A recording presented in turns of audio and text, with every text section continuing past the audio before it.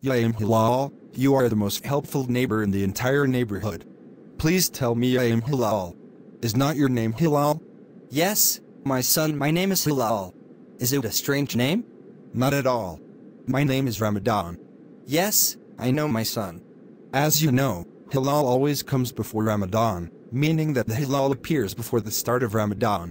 Hence, we always say Hilal Ramadan. This means intuitively that I am your father. Don't you need me to adopt you? You always have a unique sense of humor that makes me laugh deeply at Ramadan, but I have a different suggestion for you. What is that? As you know, I am Arbagi. I work on my cart that is pulled by the most kind donkey ever. So, why don't you adopt me and the donkey together to become the father of the two donkeys? Absolutely no.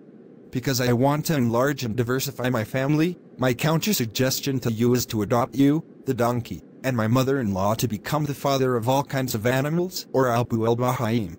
God bless your heart, Ya Ramadan. Apart from your enlarged barn, what is your career nowadays? I work in the field of investment in bonds. Because the distance to our destination is too far, and the train is so slow, why don't you talk to me about the investment in bonds? Okay, yeah, I'm Hilal. Please don't hesitate to ask me when you face a difficulty to understand.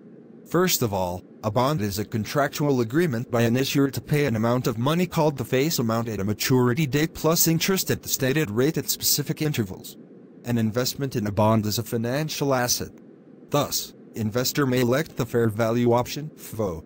Absent this election or proper classification as a trading security, a bond is classified as held to maturity or available for sale. How an investment in a bond is recorded in the purchaser's books?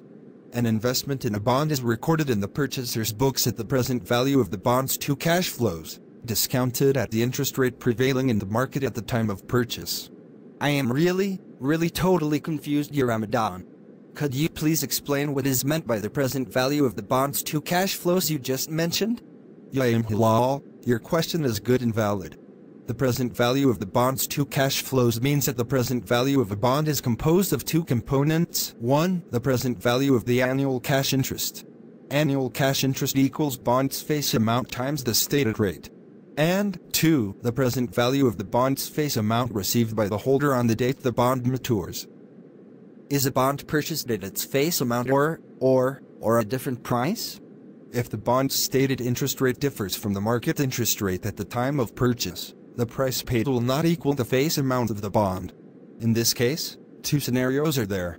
1. If the bond's stated interest rate is greater than the current market interest rate at the date of purchase, the purchase price is higher than the face amount and the bond is purchased at a premium. 2. If the bond's stated interest rate is less than the current market interest rate at the date of purchase, the purchase price is lower than the face amount of the bond and the bond is purchased at a discount.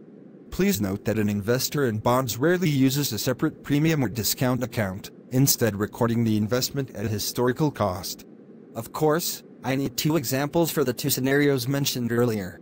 But for, for the purpose of this session, could you please give me an example for a bond purchased at premium? Assume that an investor purchased an 8%, the stated rate, 5 years, $5,000 bond, the face amount, when the prevailing interest rate in the market is 6%.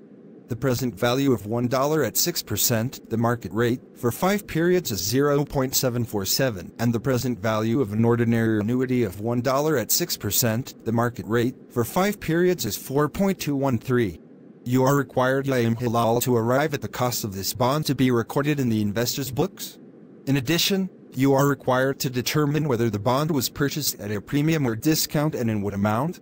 You know your Ramadan that I am Arbagi, and I still need a better understanding by means of exercises. So, please answer the questions. As I mentioned earlier, the present value of the bond is composed of two components. One, in our example, is the present value of the bond's face amount. Multiplying the bond's face amount of $5,000 by the factor of 0.747 mentioned in the example produces $3,735.